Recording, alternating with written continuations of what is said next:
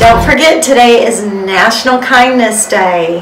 Thank you to Pastor Fred Rogers who reminded us to be kind to everyone. So I hope you're wearing your um, cardigan today. I forgot mine, but I have some warmth here thinking about National Kindness Day. Let's make every day National Kindness Day. Thanks. Amen. Bye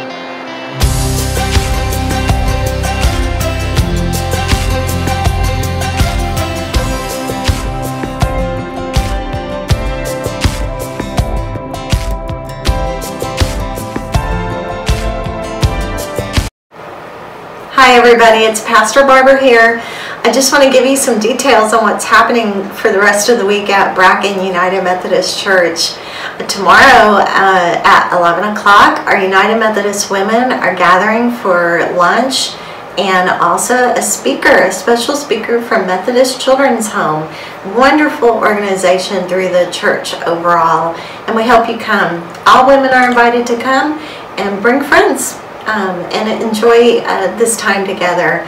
And on Saturday morning at 9 a.m., we are going to hold a special training for the people who run the projection um, uh, system in the sanctuary.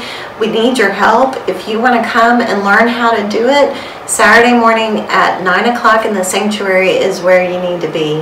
Also this Sunday we will have our regular worship time at 8.45 and 11.15 and we are continuing in uh, looking at the series It's a Wonderful, F-U-L-L, Life. And this Sunday we'll be looking outward while still looking inward.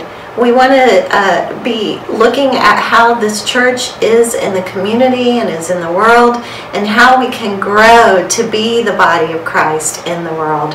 Our scripture is coming from 1 Timothy uh, chapter 6, verses 17 through 19, um, where Paul tells Timothy uh, that we're not to focus uh, and place our hope on our finances, but instead we need to hope in God. And so I hope that is your focus too, as it is ours here at the church. God bless you.